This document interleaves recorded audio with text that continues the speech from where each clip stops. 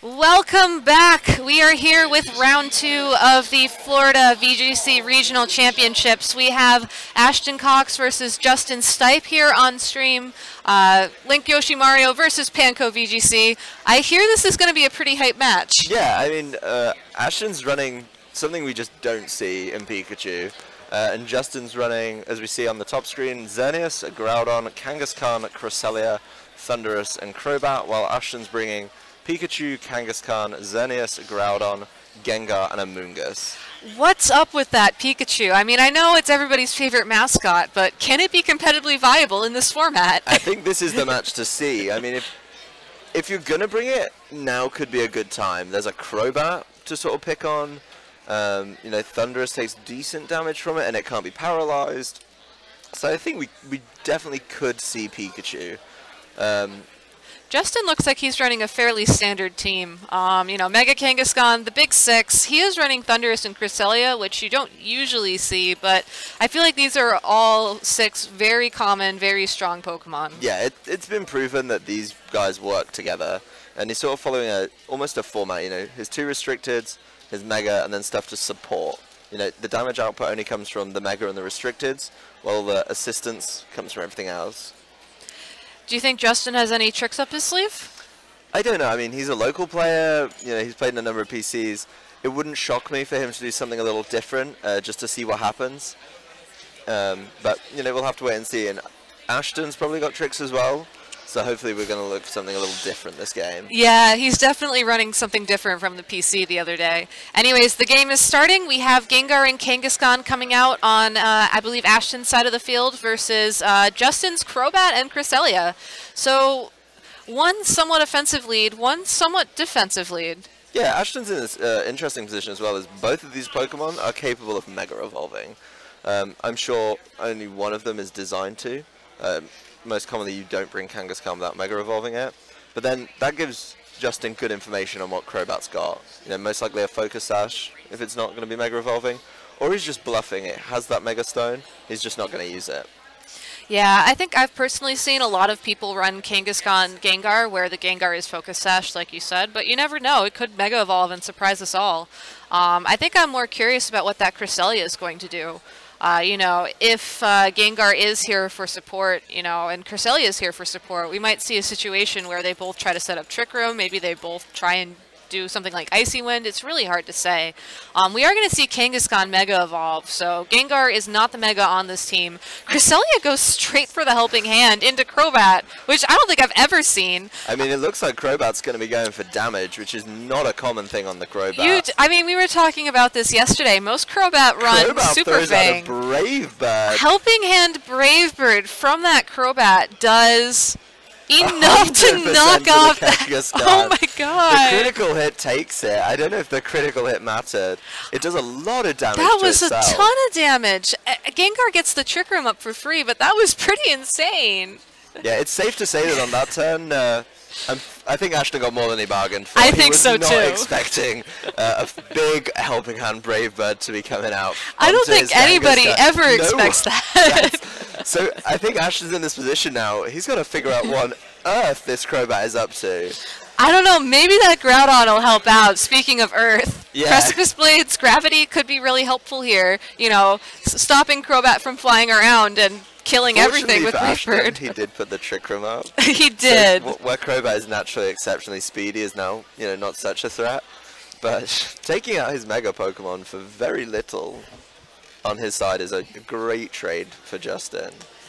Yeah, I mean, there wouldn't have been any damage on Crobat that turn if it wasn't for the Brave Bird recoil. And I don't think we saw Life Orb either, so who knows what this Crobat's doing. Yeah, I think now is a good time for uh, Ashton to try and figure that out before he leaves Crobat, and it does even more damage. So it looks like Cresselia goes for Ice Beam onto Gengar, probably uh, predicting that Focus Sash and breaking it. Unfortunately, Groudon gets the Eruption off and will knock out that Crobat.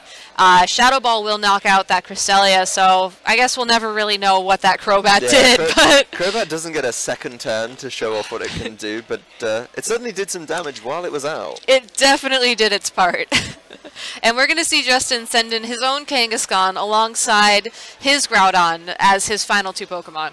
Yeah, I mean, I feel like with Justin's team, he's going to have more speed investment. He's going to train things to be a little quicker uh, rather than Ashton, who with the luxury of Trick Room can put more time training his Pokemon in the defensive stats. Um, so, you know, it's not a great position for Justin to be in. Uh, but he's definitely still got the damage there. Most certainly, you know, he has some priority from the Kangaskhan, which can apply some pressure. Uh, and breaking the Focus Sash, you know, just puts good damage on as well.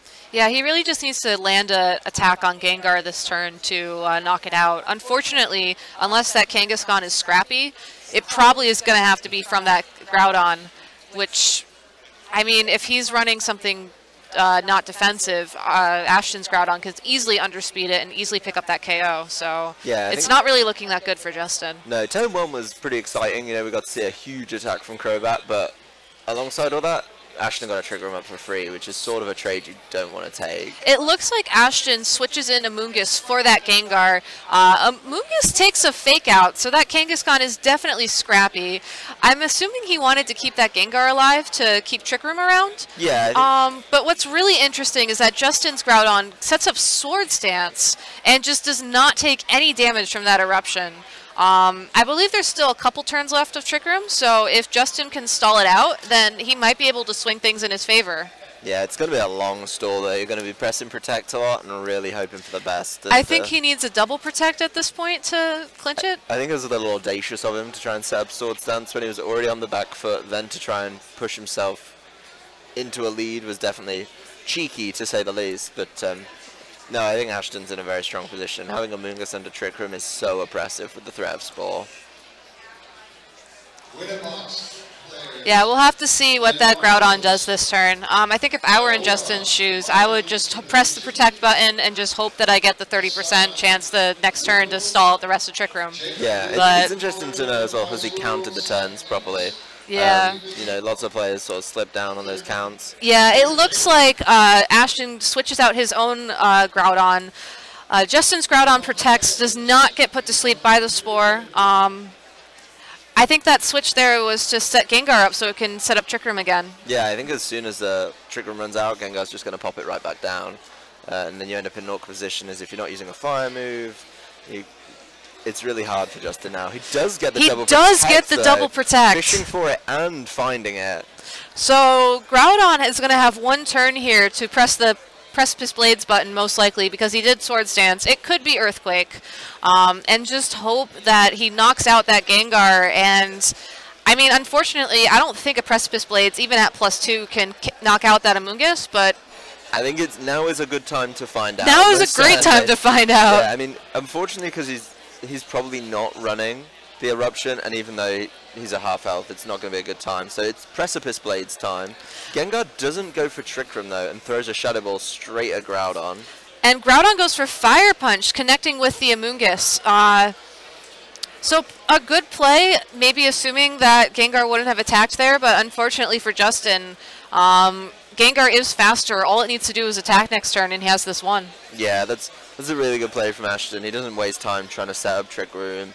Um, no, I think I think Justin had to look for the Precipice Blades. Like he had to take both out. yeah. Turn and hopefully he outsped the other Groudon this turn. Yeah.